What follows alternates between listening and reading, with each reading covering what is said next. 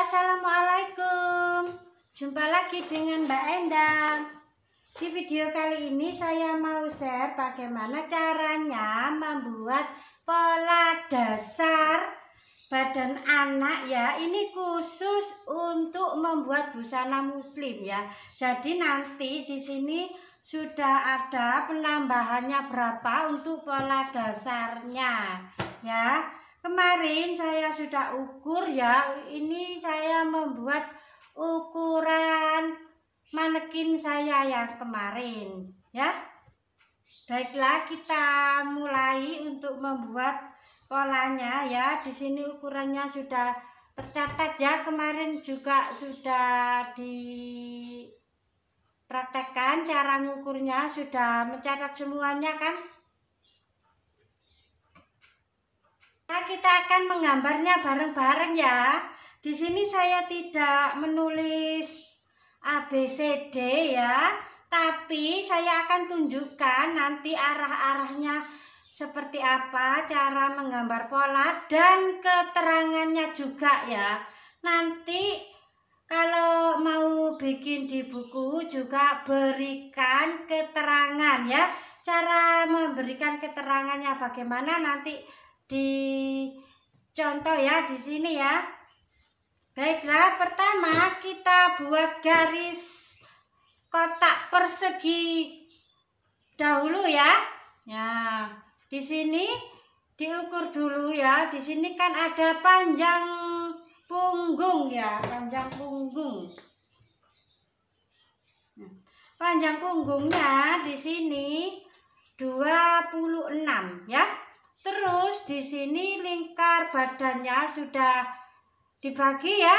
57 dibagi 4 sama dengan 14,25 cm terus ditambah tiga setengah sama dengan 17,75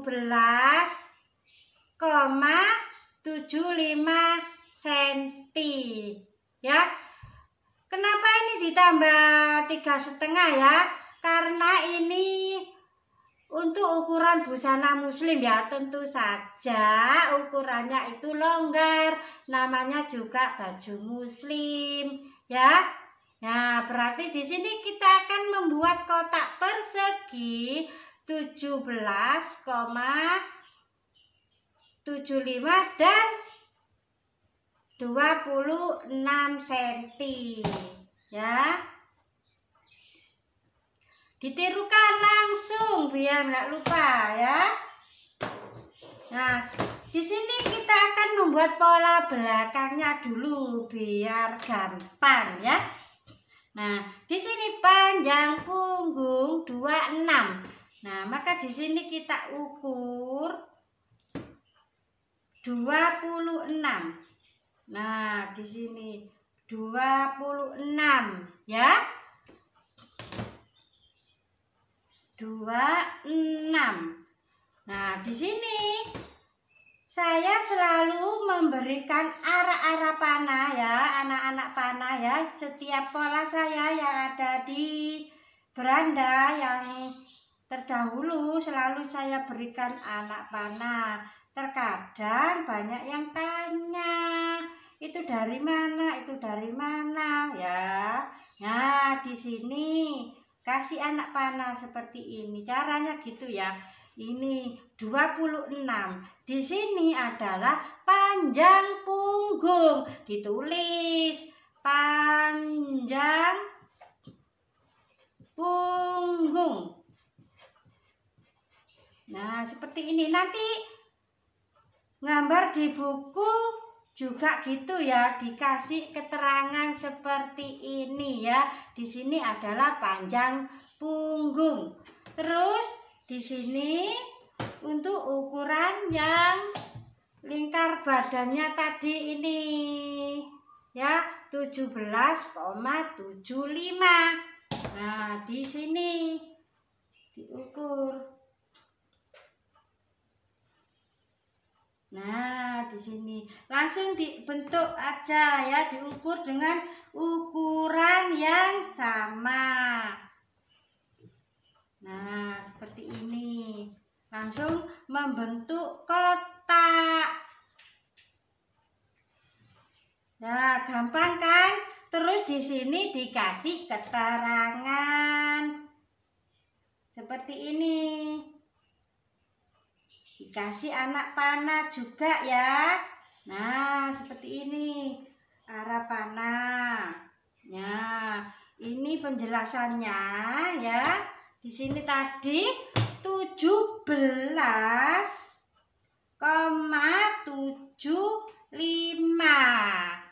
Ya, keterangannya gimana di sini?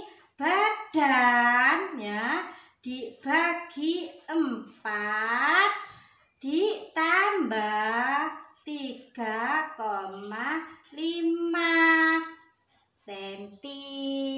gitu ya.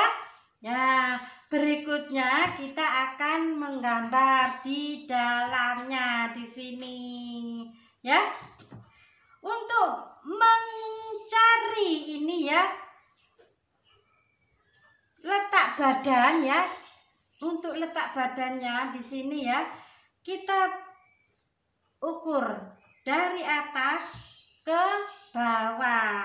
Di sini ukurannya adalah badan dibagi empat ditambah satu. Ya ini badannya dibagi 4 kan 14,25 ya tapi ditambah 1 berarti 15,25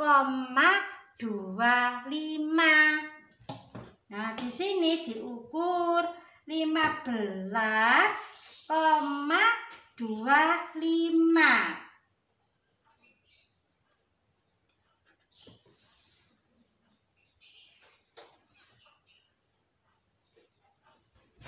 Terus di garis di sini.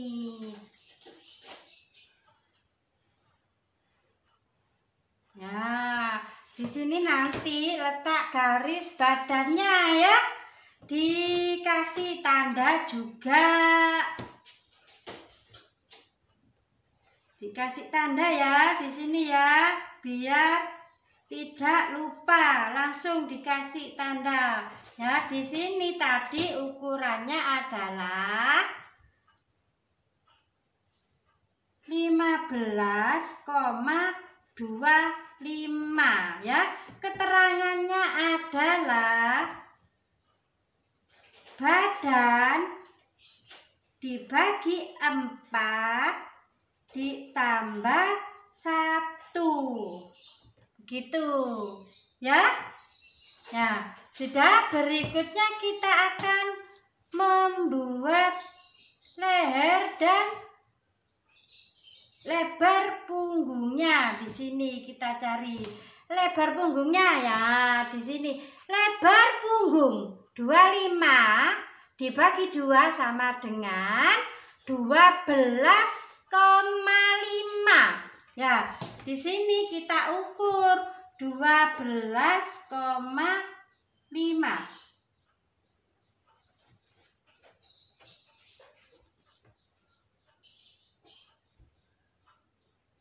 Nah, sudah kita kasih tanda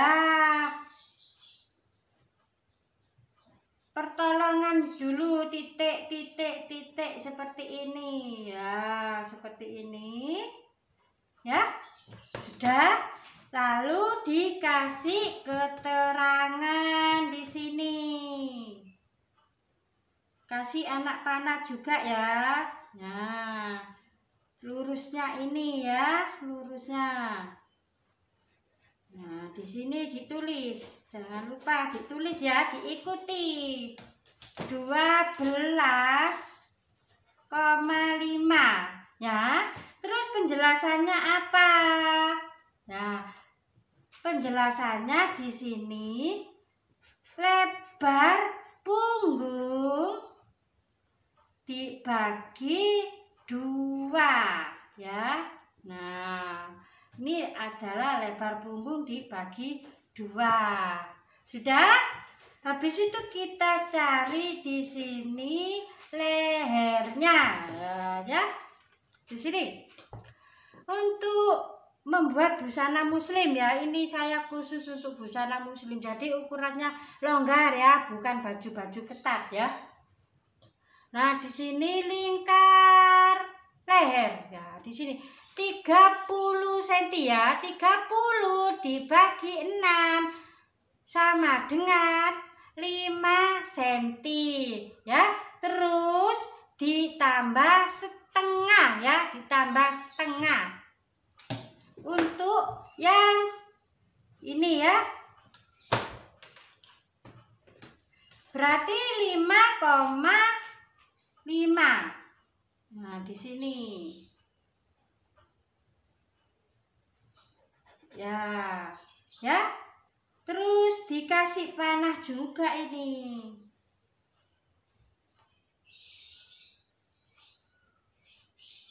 Nah, di sini. Sip. Kasih anak panah biar tidak lupa ya. Ini adalah 5,5 keterangannya adalah leher ya leher ya. Lingkar leher. Leher. Dibagi 6 ditambah setengah.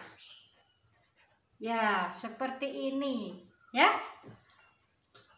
Terus untuk di bagian belakang ini untuk anak kecil selalu satu setengah ya. Ini ini untuk pola dasar ya. Satu setengah ya. Nah terus di sini langsung aja kita gambar langsung juga bisa kalau nggak bisa pakai penggaris.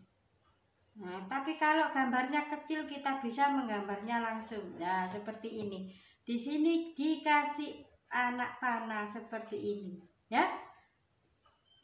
1,5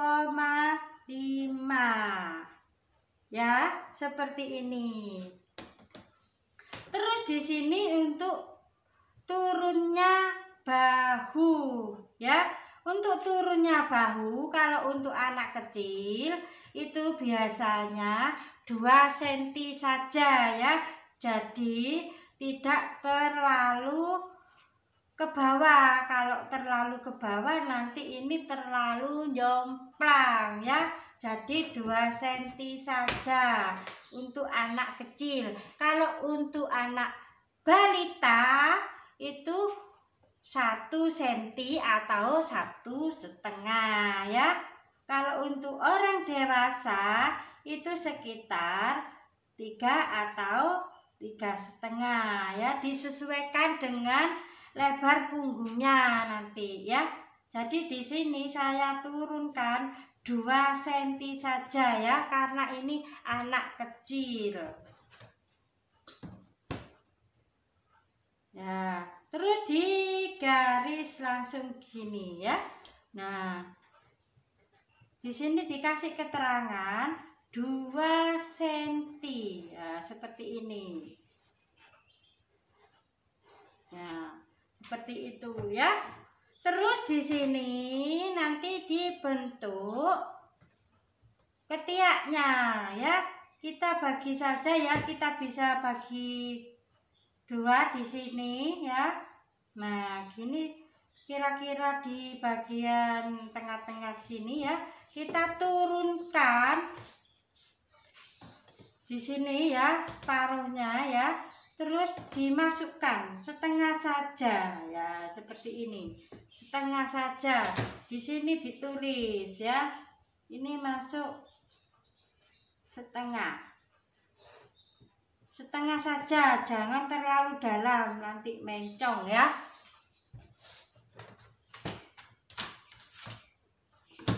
Nah terus digambar di sini. Nah kalau ukurannya kecil gambar pakai garisannya sulit kita bisa gambar sendiri ya kita gambar sendiri. Yang penting bagus. Nah gini Ya, sudah. Terus di sini kita masukkan 1 satu senti saja ya karena ini kan bukan baju body ya ya di sini langsung dimasukkan satu senti saja. Ini untuk pola dasar ya. Pola dasar adalah pola yang mentah ya. Nanti kita bisa mengolahnya dengan model-model yang lain ya disesuaikan dengan modelnya. Nanti kita akan mengolahnya menjadi berbagai macam model ya. Nanti kalau sudah selesai belajar pola dasar kita akan belajar cara mengolah pola itu seperti apa dan bagaimana ya. Ini pola belakang sudah selesai. Terus untuk pola depannya bagaimana ya supaya irit saya langsung gambar di sini saja ya supaya irit nah di sini ya. Di sini kita ukur tadi lima setengah ya. Untuk yang depan di sini kita ukur ya. Di sini kan lima setengah di sini kita turunkan satu senti di sini ya. Jadi nanti di sini ya. Nah gini ya. Lima setengah terus ya diturunkan lagi satu senti gitu. Berarti kalau dihitung adalah le, uh, lingkar leher dibagi enam ditambah satu setengah ya untuk ini ya.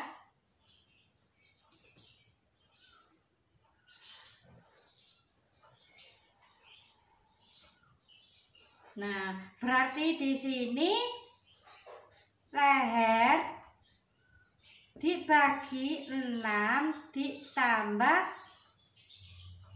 satu setengah ya ini keterangannya ya nah terus untuk yang ketiaknya kita masukkan setengah senti ya seperti ini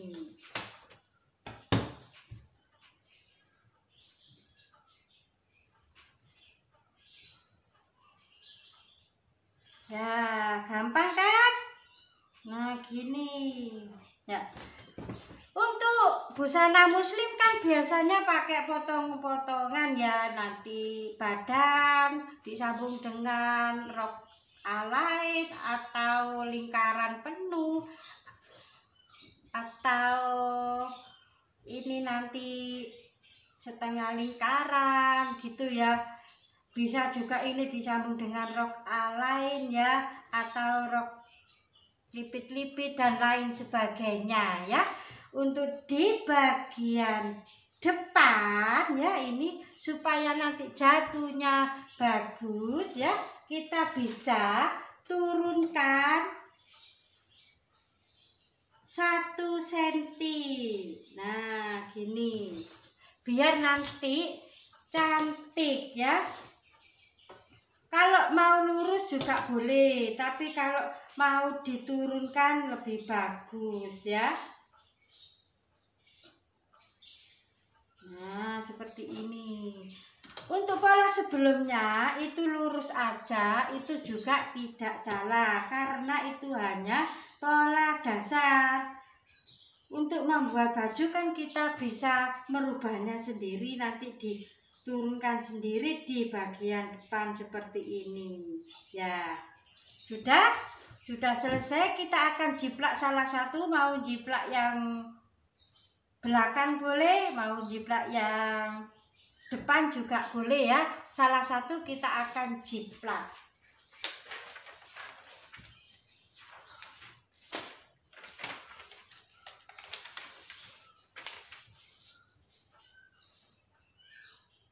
Ya, saya akan jiplak yang bagian depannya saja di sini.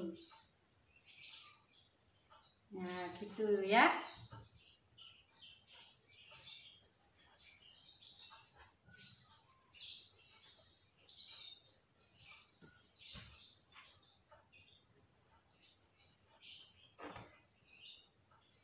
Kalau menggambar di buku dikasih keterangan biar tidak lupa. Ya, sudah selesai ya.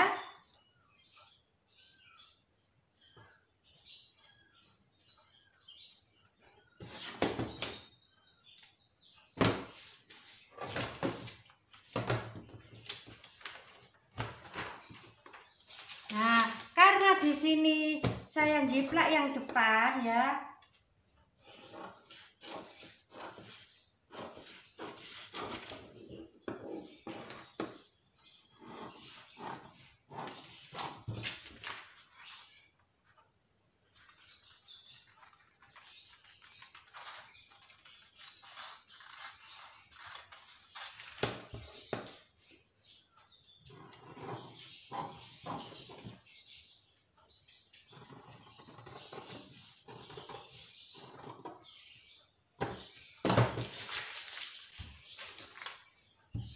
Nah, ini kan depan. Berarti di sini nanti ambil yang bagian belakang, ya.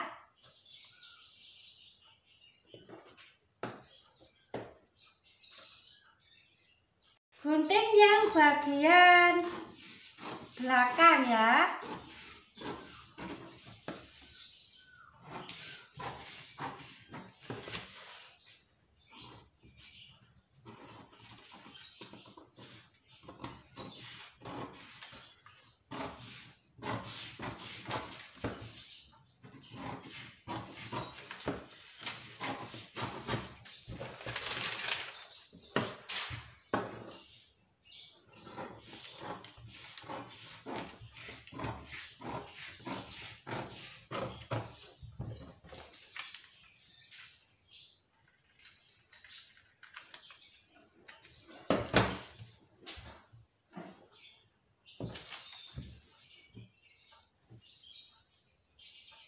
Nah, ini polanya sudah selesai ya, teman-teman.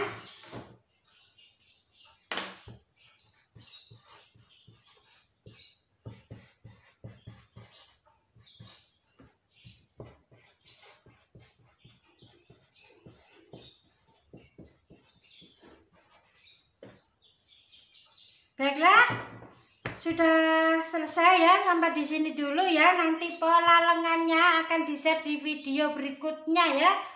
Ini pola depannya dulu ya. Kalau ti tidak ada yang dimengerti atau ada yang tidak dimengerti, boleh diklik komentar, di screenshot fotonya dikirim di komentar ya. Sampai jumpa. Assalamualaikum.